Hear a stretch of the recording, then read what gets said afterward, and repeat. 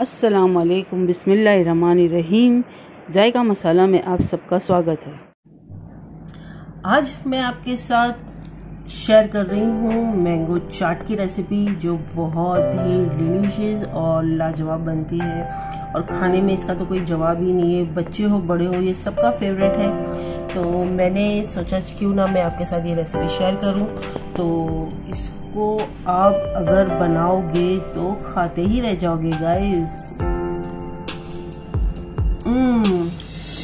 सो yummy और tasty तो आइए, मैं आपको इसको परफेक्ट मेज़रमेंट के साथ बताती हूँ। क्योंकि जायका मसाला है तो मेज़रमेंट तो हो बनता ही है।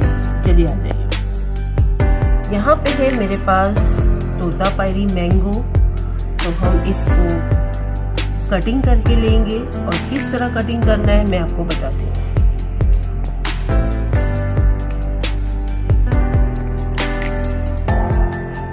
इसका हम छिलका पूरा निकाल के लेंगे। हमने छिलका उतार लिया है, तोतापायरी कैरी आम के ऊपर से। अब हम इसके करेंगे इस तरह से पीस।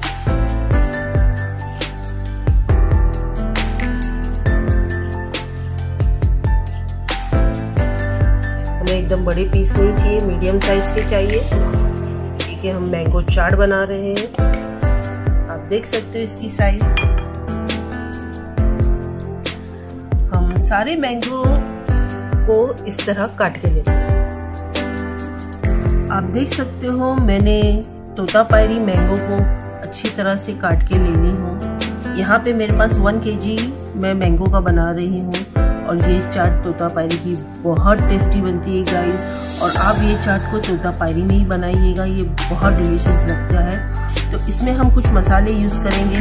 तो हमें चाहिए यहाँ पे कश्मीरी मिर्ची, एक चाय का चम्मच भर के, आधा चम्मच हमें चाहिए सॉल्ट और सॉल्ट कम ज़्यादा नहीं, आधा ही चम्मच वन के जी तोता पायरी आम के.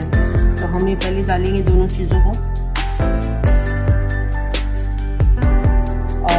यहाँ पे यूज़ कर रही हूँ कैच का चाट मसाला। तो हम यहाँ पे आधा ही टीस्पून चाट मसाला यूज़ करेंगे। और इसको हम करेंगे अच्छे से मिक्स गाइस अब इसको बना के प्लीज़ ज़रूर ट्राई करना। ये बहुत ही यम बनेगा।